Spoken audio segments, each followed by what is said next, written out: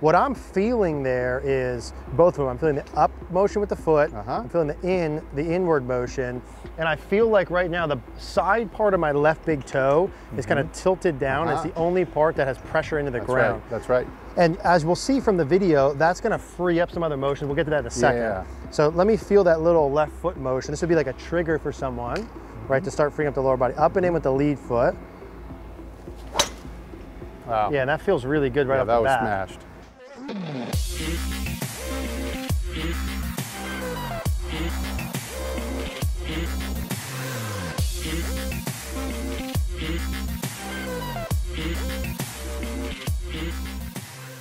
want to talk to you today about Live View Golf. Now, you guys hear me say all the time that you need feedback when you're practicing. You need to know if you're actually doing what you're trying to do. And the best way to give yourself feedback ultimately is video. And not only is video the best way to give yourself feedback, but being able to see yourself simultaneously as you're doing a movement is the best form of video feedback. It's the best way I've seen to make changes in your swing and be able to correlate the differences between your feels and your reels. Live view is super easy to use and set up. Simply set it up behind or in front of you. You connect it with your iPad or phone, pop that on the ground. You can actually do your practice, see yourself as you're doing it, the best way to expedite your process. I encourage you guys to check out Live View Golf. We'll put a link in the description down below with a coupon code. All right, guys, so today we're gonna talk about how to crush your drives by letting your lower body be a little more free. Now, to my left here, we're gonna bring in a minute, Mr. Steve and I are gonna talk about the lower body. Obviously, we're out here um, in beautiful at El Segundo, the lakes at El Segundo, uh, just outside of Los Angeles, beautiful weather. If you guys don't know Steve yet, we're gonna put a link in the description down below. Awesome content, Steve Golf, awesome driver video. Steve, thanks for coming out again today, my Thank friend. you so much for having awesome. me. Um, so in today's video, Steve, we're going to talk about some lower body freedom, but I think before we dive in and talk about it, um, let's do a little analyzer video here so you guys can see how some of the all-time greats allowed themselves to have some freedom with their lower body and how they used to crush their drives. Okay, so let's take a quick look here at some lower body freedom movements. A couple of old school players, one new school. Here we have Sam Snead. Um, just take a look at the lower body action during the back backswing. A couple of the pieces that we're going to see and focus in on is number one, we can see the lead foot motion. So that left foot um, comes off the ground, right? Lead heel comes off the ground, so up towards the left toes and rolls inward um, towards the inside part of the lead foot. We're going to notice from there that the lead leg obviously has worked inward, so the left knee towards the right or away from the target quite a bit. That lead femur has worked in and has provided a pretty healthy amount of uh, belt buckle turn there. So those three pieces that we're going to see here are three of the pieces that are key to lower body freedom.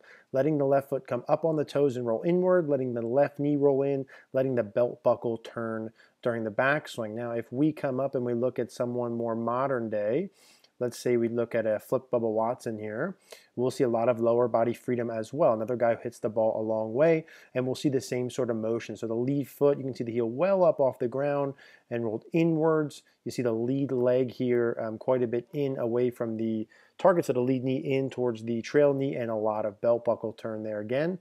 And then if we look at another um, old school here, Arnold Palmer, uh, shows us a pretty good example. Let's pull him up here. And you can see a lot of the lower body motions here during the backswing, the same thing. You see the lead heel work up, working in on the uh, lead leg. Obviously a lot of lead leg uh, motion in, lead knee in, lots of belt buckle turn during the backswing. Those are three key movements for freedom during the lower body to help hit the ball a lot farther. All right, guys, so there you saw how some of the all-time greats free up their lower body. And if you haven't seen Steve's videos, like I mentioned before, he talks about this stuff and a lot of them, some great, great videos you guys should go check out.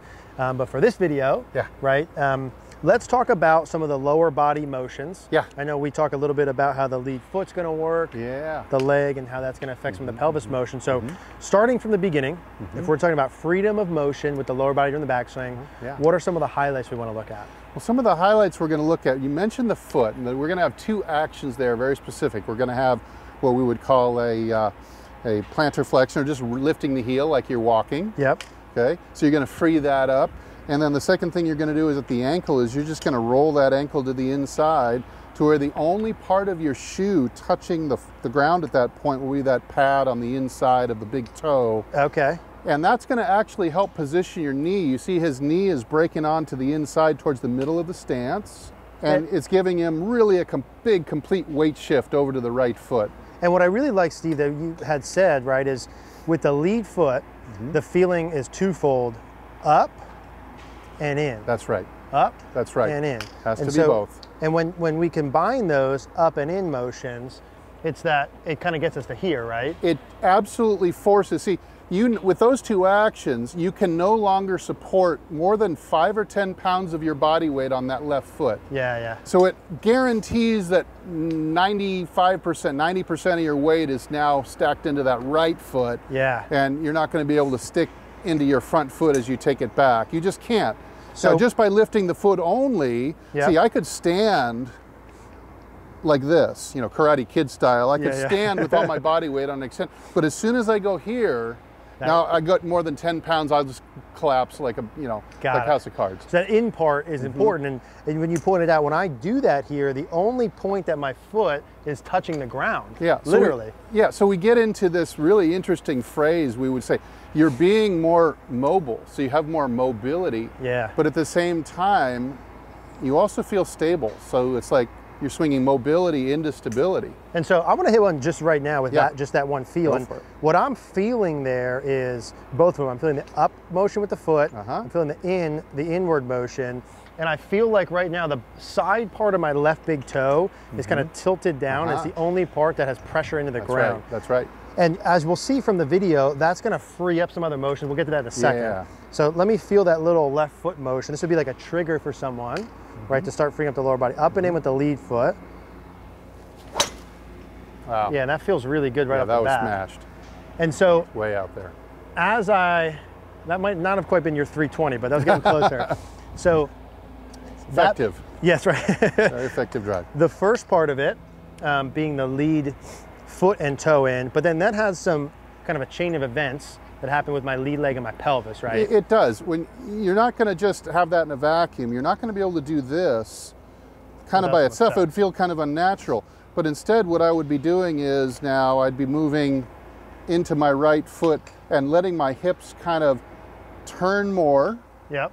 Kind of keep up with my upper spine, and almost have my hips and chest feel like they're turning more equally Yeah, yeah. rather than doing the restrict hips and trying to wind, make a big wind up idea. You're kind of letting everything turn all together. So I'm not going here, right? Right. So as I work back, um, and, I, and I love those little visuals and feels you Mm-hmm. just mentioned, as my left foot comes up and in, what I feel happening is my lead knee naturally is working Yes, internal. towards the middle, yeah. Towards the middle. Yeah. And so you'll kind of see like my knee and my hip are kind of a straight line. My knee's not on this side right. of my hip. Right. And as I do that, even from there, Yes. my hips are gonna, we'll say turn more, right, Yes. during my backswing. And they might even end up tilting more. You see, now you've Yeah. got, as you've made a break here at the knee and you've made a break at the ankle. Meanwhile, we'd see from the the the, uh, the down the line angle that you naturally like to straighten your knee a couple of inches, not lock it certainly, but it does move towards extension. Yep. So it ends up with your right leg is now longer than your left leg, simply because your left Yeah. leg is more like in a Z position. It's just zigzagging. Yeah. So it ends up being effectively shorter. And that's gonna, in effect, it's gonna put your, your belt line and your spine tilted. at a little bit more of a tilt. And so as I'm going back, and because someone could, you know, you can reverse engineer stuff all the time, uh-huh. right? I'm feeling the lead foot up and in, only my left big toe on the ground. My Good. left knee is working more in Good. because of that. My belt buckle's turning more. And you're letting it just be free. And I'm letting it be up free. with the turn. Yeah, there. and we're going to talk about the right hip motion a little bit in a second. Mm-hmm. But as I'm working this, I could also feel consciously. If it's not, it shouldn't have my toe, but I could feel consciously as my foot's rolling in, my knee working in. Yep. I could feel my belt buckle um, shifting, kind of working to my right, Yeah. you know, hip a little more. Yeah. Let me hit more, one more with that. I really like that left foot up and rolled Mm-hmm. as a trigger. My lead knee's kind of getting into the right a little bit. Mm-hmm. More belt buckle turn. Let's go ahead and do one with that. Yeah, and that feels good there too. A little off balance on my five. I I'm trying to what- catch that 320, Steve. I think what most people might feel at home the first few times they do this, they might feel like this, it might feel a little reckless to them, Yeah. and they might not hit the first several shots. They might make, not make good contact the first several. But when you start turning this, your brain starts turning it right side up again, you're going to start feeling how that, now that you're stepping down, you're going to just feel this whole new level of power. And it creates more of a natural athletic motion during the downswing. We always say in our videos, Steve, like action, reaction, cause and effect, Okay. equal and opposite. And so when I watch good players like an old Arnold Palmer, Mm-hmm. and you see him go back, and he's got a little bit more forward post Yeah. it, but the pieces, where, or Sam Snead or any of those, uh, Mickey Wright, Mm-hmm. as we mentioned, when they get the lead foot up in, the lead knee, and the, and the belt buckle working back, then you start to see the opposite motions coming down. Yeah, there's definitely a symmetry there, isn't there? Yeah. Yeah. A reaction, the, the, the reposting, the lead knee working out, the pelvis rotation. Yeah, my teacher always said that he could play equally well right and left-handed. Yeah. And he would he would actually take bets playing people left-handed when he could no longer get bets playing Oh, wow. right-handed Yeah, because he felt the swing was symmetrical exactly like you're talking about. yeah, and you, and you get the opposite reaction coming down. Mm-hmm. And so that you're just gonna anything that's flexed, you're gonna extend, and anything that's flex extended, you're gonna Gonna flex. flex. So here your ankle's in extension, you're gonna set it down, and this ankle is gonna go and mirror it. It's gonna roll Yep. inwards Yep. and lift, yep, and you're gonna only you're gonna wear out this little spot on the inside of the big toe there. On You're the just way gonna wear through. yeah on the way through. You're gonna just wear that out.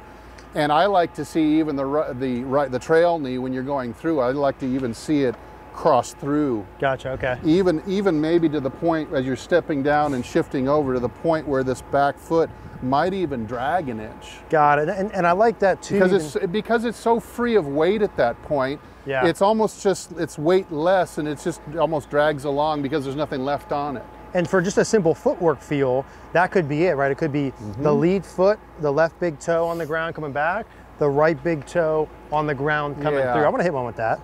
That feels pretty good too. So freedom of motion, backswing, left foot's working up and in, lead knee and belt buckle are turning, allowing myself to shift on the way back. And that one felt like I got that right toe to drag a little bit um, Mm-hmm. on the way to on the way through. So yeah it kind of drags in reaction to when you're you're changing directions and you're putting that what Nicklaus would call you know the Nicklaus stomp yeah, back into there and pushing back over, you've got so much brace on this leg now that essentially this right leg has almost become weightless at this point yeah, that we don't necessarily see with everyday golfers who aren't doing enough of this. They're, they tend to be more armsy, up and down, and their legs are a little bit quieter or just restricted somehow. Yeah, yeah. And so you're getting more of this, and you see it's quite natural for my foot to just want to almost take a little, a little drag or a little step because it's just, it's just I can sta- I'm standing on this leg with so much of my body weight that I could just stand there for a while. So Love I, it. even though we've been very mobile with the lower body. You can see at this point how stable I've ended up. I'm on one Yeah. leg here, but I can just kind of stand here for a while. Yeah, I love it. Mm-hmm. So I think, guys, in terms of the take homes from this video, the simple terms is let your body be free. In terms of hitting the ball farther with more Mm-hmm. Speed, right? So if I want to bunt it nowhere, I can keep my lead foot down, do no turn, and hit it nowhere, right? Mm-hmm. Yeah. Let the lower body be free. Let the lead foot come up. Look at some of the videos we talked about and some of the, the things, the visuals here. I really like that left toe um, up and in motion with the left foot as a trigger. Mm-hmm. Let the lead knee in, let the pelvis work more, and let that be sort of the ignition or the starting point to the backswing. Mm-hmm. Downswing will react, we'll hit the ball farther. And I think you'll fe- you'll end up feeling like your your bunt feels, like you just said, your bunt feels will be long. yeah, exactly. Effortless Yes, power. yes. Cool, Steve. Thanks, man. All right, you're welcome. Appreciate it. Thank you. Hey guys, I want you to watch the videos here on the screen, more about hitting your driver better. If you guys did like this video, do us a favor, helps us out. Click that like button down below. Click the notification bell. Please subscribe. Thank you guys.